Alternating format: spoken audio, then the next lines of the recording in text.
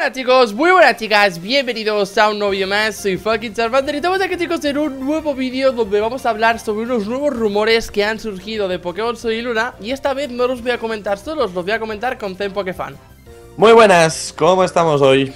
Y bueno, vamos a hacer eh, mm, ciertos puntos en mi canal y ciertos puntos en su canal, que será la segunda parte que la tendréis en la descripción. Os recomiendo que primero leamos esta y luego vayamos a la siguiente, así que empezamos, ¿no?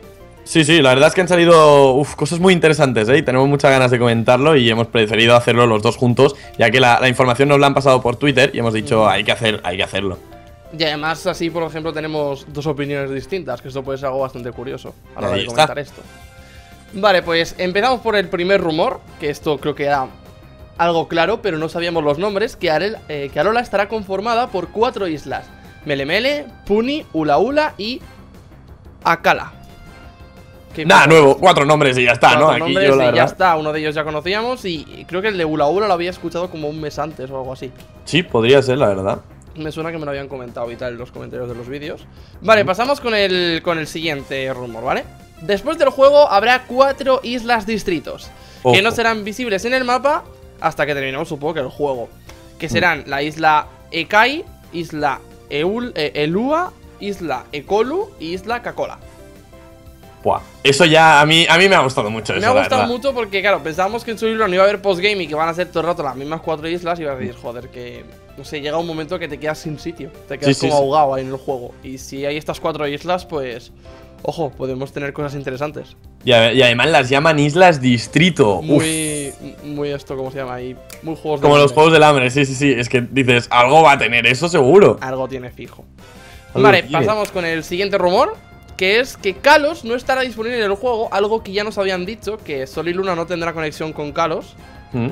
Pero que sí que hay una cueva, que es la cueva Omaka, en la isla eh, eh, Kalola, que es una de las cuatro islas distrito, que esconde un gran secreto.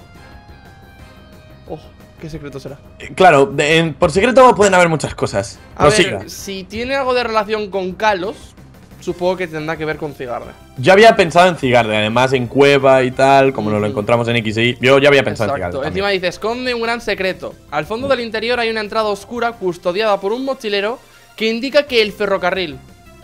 ¿Qué había en, la cueva de Cigarde en Kalos? Eh, es verdad, es verdad. Las vías de un tren.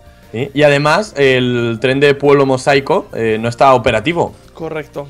Y dice que, indica que el ferrocarril está cerrado por ahora y que solo un Pokémon que emite una luz especial puede encender el camino hasta el otro lado. Ningún Pokémon de tu equipo te permitirá entrar por ahora. Ese por ahora... Ese por ahora te deja en plan... Mm. ¿Qué habrá? ¿Qué no habrá? Mm.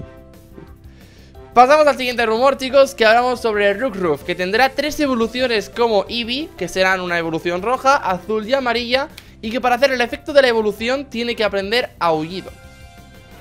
Es interesante, un nuevo Eevee, la verdad, a mí me gusta. Pero eso sí, curioso, curioso esto, que para hacer la evolución tiene que aprender aullido. Si no aprende aullido, irá a una forma neutra. Sí, no, no, no lo sé, la verdad, o sea, yo creo que a lo mejor no tiene evolución hasta que no la evolucione. O sea, sería un Eevee. Es como un segundo Eevee, yo creo. Y la verdad es que la pinta la tiene. Sí, a ver, mm, a ver, con todo el tema del aniversario de Pokémon, quieren como asemejarse un poco a primera gen. Y creo que este sería un acercamiento. Ojo, que dicen que Salandit, el siguiente rumor, que tendrá dos evoluciones diferentes al alcanzar el nivel 36, dependiendo si es macho o es hembra. Interesante también, algo chulo. Algo chulo, la verdad. Sí, tengo ganas de ver las evoluciones, eh, la tengo verdad. tengo curiosidad porque Salandit lo veo un Pokémon que puede dar mucha guerra, eh. Sí, tocho. Eh, tiene, tiene pinta de tener una evolución tocha. Sí, sí. La verdad, la verdad. Vale, ahora pasamos a hablar sobre los cristales Z. Habrá 16 cristales Z, 18 en total de los cuales los 16 se conseguirán en los diferentes desafíos de los capitanes, y Guzmán y Francine, líder y comandante del Team School, nos darán los cristales de veneno y siniestro. Formando así los 18. Mm, me parece lógico. Una manera bastante sencilla de. Me parece curioso de la manera de conseguirlos. En vez de medallas, hay cristales. Hay cristales y supongo que nos darán Seguramente los cuatro primeros serán los cuatro tipos básicos: agua, fuego, planta y eléctrico. Y luego ya irán los complicados. Y seguramente dragón, nada y cosas de estas serán los últimos. Ojalá, la verdad, estaría guay. Tener que hacer diferentes cosas para conseguirlos puede ser interesante. Ojo que venimos al rumor más tocho. Ojo. Que se vienen, vienen curvas. Sí, sí, sí. Algunos Pokémon sufrirán cambios de stats o forma después de realizar un movimiento Z. Algo que podríamos llamarlo como sincroevolución. Hmm, totalmente. O evolución Z, oye. Sí, ah, dependiendo, claro. Dependiendo. En los cuales se incluyen a Greninja, forma arcoiris, Solgaleo, forma ascendente, Lunala, fase luna llena, Marshadow, forma eclipse, Espion, forma amanecer y Umbreon, forma anochecer. Como esto se confirme, tenemos vídeo para rato, la verdad. Aquí la verdad es que tenemos cosas y cosas. Porque Solgaleo y Lunala ya se habían visto su forma ascendente y su forma luna llena. Sí, que no cambia mucho, la verdad. Que no cambian mucho, que es como Cherneas con su forma activa y pasiva. Sí. Pero nunca habían dicho cómo se iba a activar. Y aparte de eso, Greninja forma arcoiris. Mucho cuidado con eso, ¿eh? Luego Espeon forma amanecer y Umbreon forma anochecer también pueden estar muy bien. Se veían venir por coño Sol y Luna. Sí, Sol y Luna, y pues. Y además dijeron una cosa que esto me quedó muy claro. Me quedó muy se me quedó muy clavada. Que el tema de cómo iba a avanzar el día y la noche en este juego iba a ser totalmente distinto al resto de juegos. Quizá algo más del estilo GTA, ¿no? Que la, eh, o sea, que no son las horas reales, sino que eso no. ¿No? Porque en el tráiler japonés en el que presentan los movimientos Z, ¿Mm? que se ven, bueno, que no los presentan, que los dejan ahí caer, la chica está evolucionando su Eevee a Umbreon por la noche y debajo de las sábanas.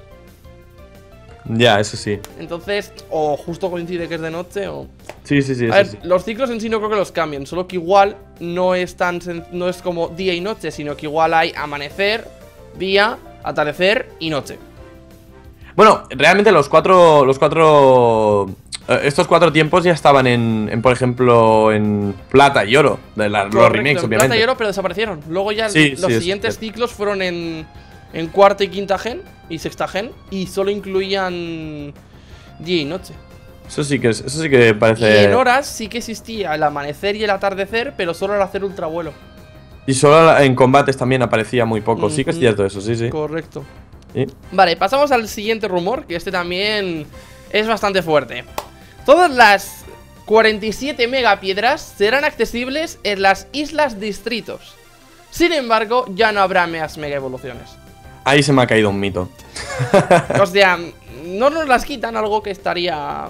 que no queríamos, nadie. O sea, nadie quería que nos la quitásemos porque ya que nos mm. habíamos acostumbrado que nos las quitarían una generación después, dolía. Y que además que los movimientos Z aparecieron para nerfear las megas. Eso dalo por hecho. Mm.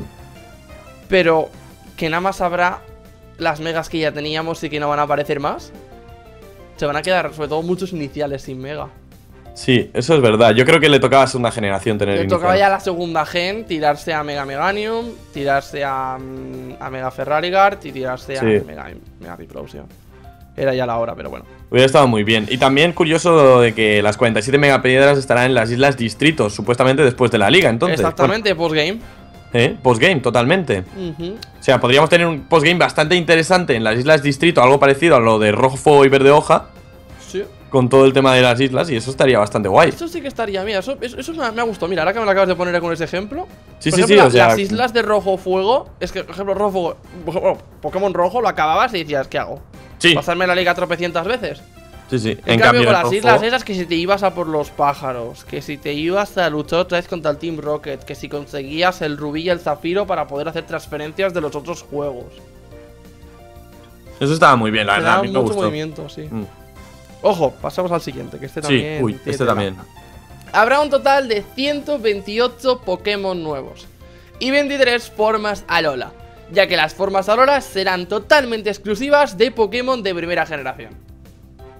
Interesante esto. También algo interesante es que si sumamos el 128 más las 23 formas Alola, dan 151. Clavado.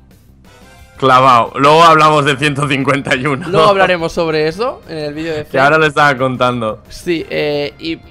A ver, ¿qué piensas de que solo sea en primera gen? Primera gen está bien, la nostalgia siempre es buena, todo lo que sea, pero me gustarían formas a la hora de bastantes Pokémon, ¿no? De primera gen. Mm, yo me tendría ya no solo primera, sino segunda. Claro, segunda también, es muy nostálgica. Claro. Segunda. a ver, lo han hecho yo creo seguramente por primera gen por uno, porque eran Pokémon olvidados. Y era la única manera de revivirlos porque Executor quien lo usaba. Sí, sí. Y la otra y lo otro seguramente ha sido por esta tonta y exclusiva razón. A ver, Pokémon no se imaginaba el éxito de Pokémon Go, mm. pero algo se olía. ¿Qué manera haces para captar a ese todo público que ha cogido Pokémon Go a Pokémon Sol y Luna? Enseñándoles Pokémon que están conociendo gracias a Pokémon Go. Sí. Sí, sí. O sea, en una manera nuevos, pero que se parecen a los que a los de su infancia. Yo veo al Executor Alola y veo al Executor normal y sé perfectamente que es el mismo Pokémon, pero de una manera distinta. Sí, sí, sí, y eso está no guay. jugado Pokémon en toda mi vida. Mm. No sé, esto puede venir. Punto guay. Este, este punto también es, es bueno. O sea, me gusta que haya. En el siguiente rumor nos tiran dos formas Alola. Así, plas por la cara. Sí. Los Pokémon forma Alola podrán mega evolucionar. Eso es algo muy interesante. Ejemplificamos con Alakazam y Kangaskhan. Súper interesante. Habíamos leído por ahí, después de leer este post, habíamos leído los comentarios y gente decía, dicen que no va a haber nuevas megas, pero nos dicen que va a haber megas Alola. Claro, pero verdad que no son nuevas megas, realmente es el mismo Pokémon, pero con una forma distinta. Claro, o sea, la, la Mega Piedra será la misma. Exacto, simplemente que, pues igual cambia un poquito. Mm. No sé cómo cambiará, pero la verdad, yo tampoco tengo ni idea. No sé cómo harían eso para que Kangaskhan Mega evolucionara normal y no en su forma Lola. Pero claro, a la Kazami y Kangaskhan, hostia, en forma Lola interesante. Tienen un punto muy, muy bueno. Ya te digo, ya te digo. Y hablamos sobre el siguiente y último rumor de este vídeo, ya que el resto de los rumores serán en el canal de Zen, que entenderéis el vídeo en, mi descripción para que podáis ir a verlo. Y vamos a hablar sobre este último rumor. Marshadow. Ojo. El tercer legendario. Que aquí ya no hay curvas, aquí ya hay un. Aquí hay montaña. Sí, sí, sí. Un extremadamente maravilloso delfín tiene una joya en su cabeza que emite destellos tan brillantes que es visto como el emisario de la luz. Sus stats serán decepcionantes. Ah, muy bien, eso no lo había leído yo, ¿eh? Eso no lo había leído yo ahora que lo estoy leyendo. Pero tendrá una gran habilidad que le permite tener cualquier combinación de tipo psíquico. Ojo, eso también está bien. Su segundo tipo es al azar. Cada vez que entra en combate, incluso reemplazándolo hará que la cambie. Es decir, yo creo que igual esto va un poco condicionado con tal Pokémon que se emprende. O no creo que tome random, o sea... No, porque dice que si te fijas... A ver... Bueno, es al azar, es verdad, es verdad, es random. Claro, claro, a lo mejor es totalmente random, la verdad, a ver... Pero si tú yo, yo saco un Pikachu y luego yo te, yo te saco un Squirtle, en teoría, cambia. Ya, ya, claro. Ojo, pero dice que tiene Yo creo que lo interesante aquí es eh, el destello de luz. Sí, que tiene que ver con por lo que antes de, la isla de la cueva Homaka. Correcto, que te dicen que solo podrás entrar si puedes encender con un Pokémon que emite una luz especial. Y hablan de Marshado como que este Pokémon emite una luz especial. O sea, más claro agua. Más claro agua.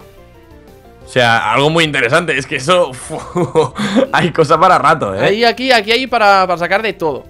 Y como los siguientes rumores, chicos, los vamos a ver en el canal de Zen. Vamos a dejar aquí este vídeo, como bien os digo, ahora mismo tendréis aquí una anotación en pantalla Una tarjeta, mil mierdas, para que podáis ir al vídeo de Zen Y podáis disfrutar y leer los siguientes rumores que de verdad son igual o mejores que los que acabamos de ver ahora. Así que nos despedimos Ahora nos vemos en el canal de Zen y un saludo. Adiós